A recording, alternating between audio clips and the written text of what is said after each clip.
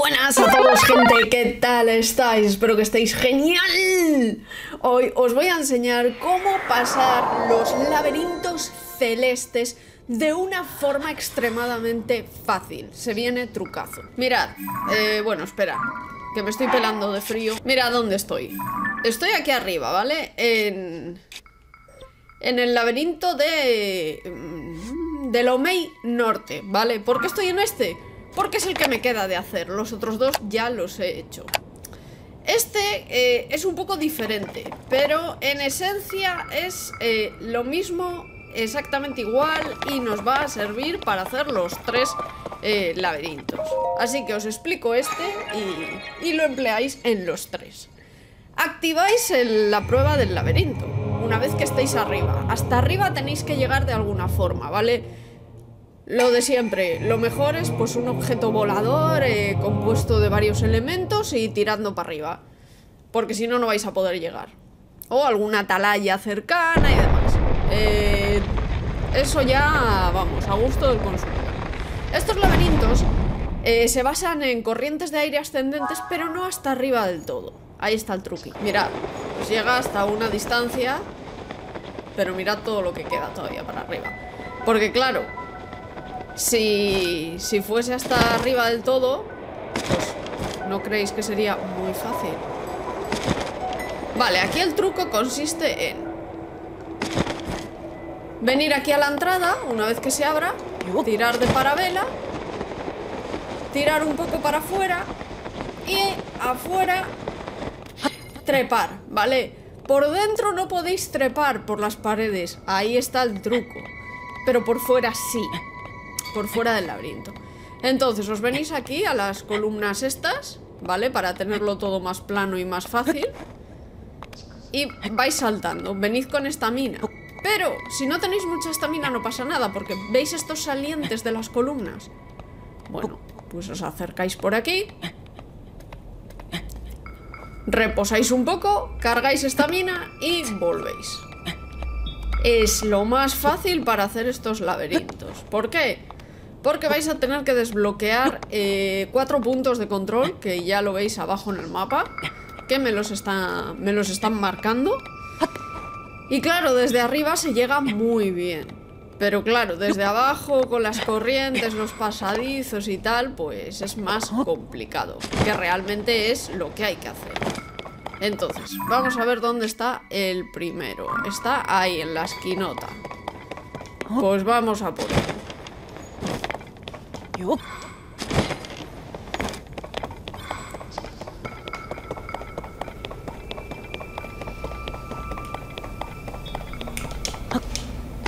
Vale, el primero lo tenemos aquí abajo, supuestamente, ¿vale? Entonces, simplemente os tiráis. Aquí hay gravedad cero, pero bueno, yo tengo cuidado. Y llegáis a este, a este tipo de terminales. Nada, ponéis la mano y se os desbloquea el terminal. Una vez que se os desbloquee, misma operación, vais al mapa, os logueáis en la entrada, que es el santuario, y volvéis a trepar hasta la superficie y vais al siguiente punto, y luego al siguiente, y luego al siguiente. Y vamos a por el último punto, que está aquí en el medio.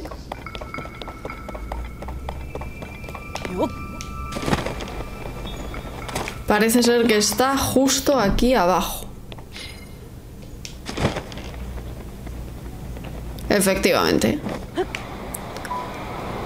Aquí lo tenemos.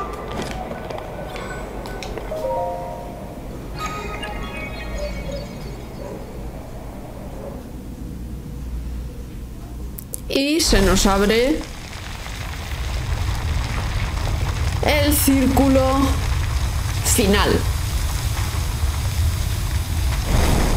Lo bueno que es que para subir ahora arriba sí que las corrientes son lo suficientemente potentes. Entonces es bastante más fácil.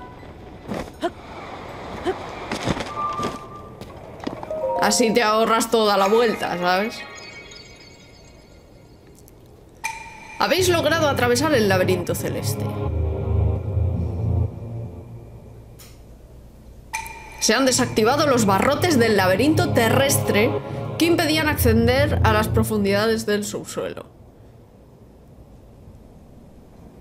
Saltad desde las alturas y demostradme que tenéis el arrojo de adentraros en las entrañas de la tierra. Ante vos se abre una nueva vía. Bueno, pues esta es la forma más fácil, realmente más fácil de... De hacer los laberintos celestes. Porque si no, son un poco coñaz, la verdad, ¿vale? Y como nos ha dicho, pues se nos ha abierto aquí las rejas que bloqueaban el acceso al subsuelo desde esta parte. Pero bueno, el único laberinto es el de la isla Lomei, al que no podéis acceder desde el subsuelo desde otras partes. Tened cuidado porque aquí hay una rejilla que tiene que estar, porque en todos hay un golem abajo. Vale, pero bueno. Este es el, el laberinto de... El abismo de, de Lomei Norte. Nunca me acuerdo de cuál es cada uno. Pero aquí tenéis el, el de Lomei Norte. Como veis yo ya tengo desbloqueada la raíz porque eh, a, esta, a esta raíz y a esta otra podéis acceder desde el... A esta otra, perdón. Podéis acceder desde, desde el exterior del, del subsuelo, ¿vale? Sin embargo, eh, que es lo que vimos en el capítulo anterior, eh, a esta parte no. A esta tenéis que acceder sí o sí por el abismo correspondiente de la fortaleza. Así que nada, chicos, espero de verdad que os haya servido de muchísima ayuda este pedazo de guía. Si es así, solo, solo si es así, date un buen me gusta, suscríbete por aquí al canal para mucho, mucho más, o sigue viendo vídeos justo por aquí. Chicos, os espero en el próximo. Un saludo a todos.